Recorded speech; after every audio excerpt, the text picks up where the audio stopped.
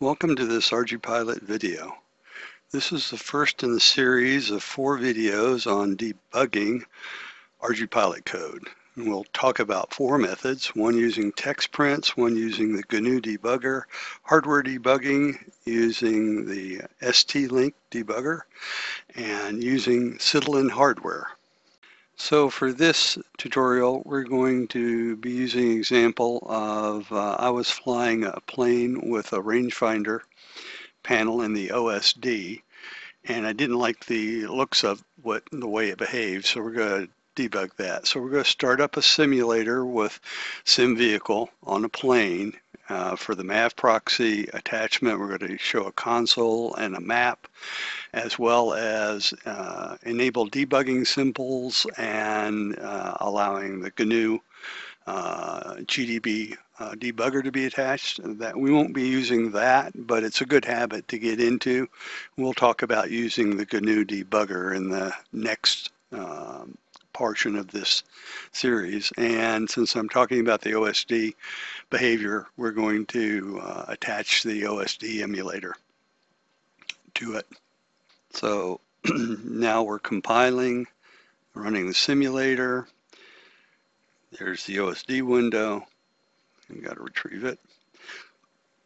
And before we start, let's look at the rangefinder parameters. What I noticed was the rangefinder panel uh, as just shown on the OSD, didn't appear to be working the way I thought it should be. So first we're going to check the rangefinder parameters and it's an analog rangefinder but more importantly what we're looking at is the maximum allowable and the minimum allowable reading ranges where it's valid. Now 10 meters uh, and below shouldn't be displayed and 39.5 meters and above shouldn't be displayed. But you see we're displaying a, a, a uh, rangefinder value and I would have expected it to be um, shown as an invalid value. So we'll go, I know it's the OSD screen panel called Draw Rangefinder and it goes through and first looks to see if there is a rangefinder, otherwise it's under a panel, but it checks the status of the data that it's getting back uh, in the next if statement and says if it's an invalid data, um, uh, display this dashes, which it's not doing. So um, it may be obvious what's going on here, but uh, to those coders uh, that are familiar with it, but so we'll use the uh, GCS send text uh, macro that allows us to display in the ground station window, console window, at a certain severity level. We'll choose info, which is a medium level. Uh, a little thing that we'll say is status is equal to whatever the status is. Now, rather than remembering all the formats for the print statements, I just universally use a float and then uh, typecast any number that I get into float so I don't have to remember all the various format commands. Um, you could make them in decimal or integer 16 or whatever, but I just use float all the time It seems to work out. So we're going to look at that status that gets returned from uh, the uh, rangefinder and see what's going on here.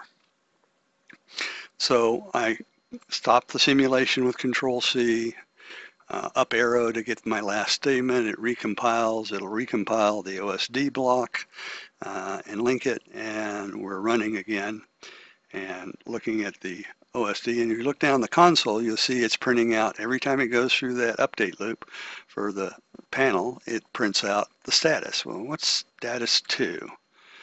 Well, status 2, we'll go over and look in the rangefinder declarations for what that uh, corresponds to uh, and rangefinder.h and down there's a little enumeration for status and it's not connected no data out of range out of range low out of range high and it's out of range low. So yeah it's invalid data. I would have expected it to show the double dashes. Aha! We have the status being compared to no data equal to or no data less and that's only in zero and one and it should be anything less than good, in my opinion, should show a double those dashes. So we'll convert it to checking good or less and go back over. And I've intentionally made a mistake here and you'll see it in a minute. So stopping with Control C and then up arrow to restart uh, the simulation again, recompiles, uh, so forth and so on. And you'll see it's dashed as we'd expect for out of range low and you see the status is 2 out of range low. And now let's check it on the high end. So we'll go to take off to 50 meters. Remember 39.5 was the highest we should get a valid reading from the rangefinder. Got to wait to arm until we get the pre-arms done arm throttle and it should take off. And takeoff mode and climb so as soon as it gets above 10 meters, we should see readings. And well, we see good status down there, but no readings. Hmm, must have made a mistake. Oh yeah, it, it's got to be less than good, not including good. So, okay. We'll fix that. Control C, start it again.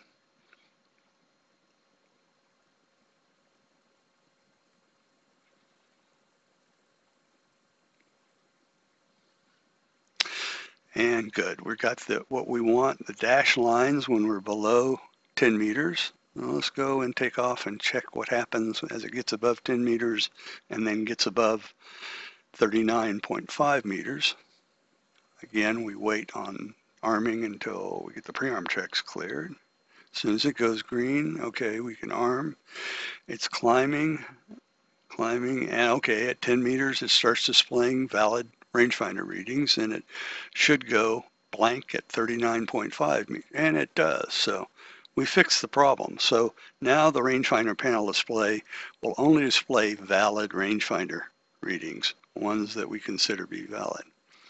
So one thing to note about using this GCS send text, you need to have a declaration uh, and this particular module uses syntax in other places. So it already has the declaration for GCS mavlink gcs.h so that we have that macro.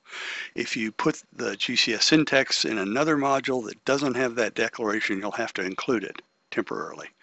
Uh, of course, you'll want to remove that uh, syntax, and if you added the, the header file, include, remove it too before you go and uh, make a branch that you'll want to submit.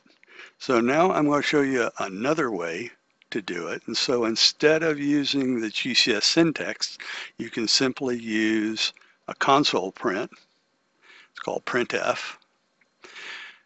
And it's in, inter, integral to all the code. And it doesn't use the uh, severity info. Uh, control C, stop the sim, up arrow, restart the sim, it'll recompile. And now instead of putting it out to the ground control station console, it throws it to the simulation console. You'll see here, this is the uh, active uh, running of the simulation code. And you, saw, you saw the uh, uh, status values there. So we'll arm the throttle in mode takeoff, wait for it to arm again, and then go look at the at the panel and you see when it gets above 10 meters it goes to 4 which is status good for good readings and we're displaying them and then it'll go to status 3 when we get above 39.5 meters. So that's an alternative way to get uh, printout. And you, of course you need to remove the statements if you're ever going to submit the code but that's one way of uh, debugging without having to know how to run the debugger and its commands, uh, which will be the next session.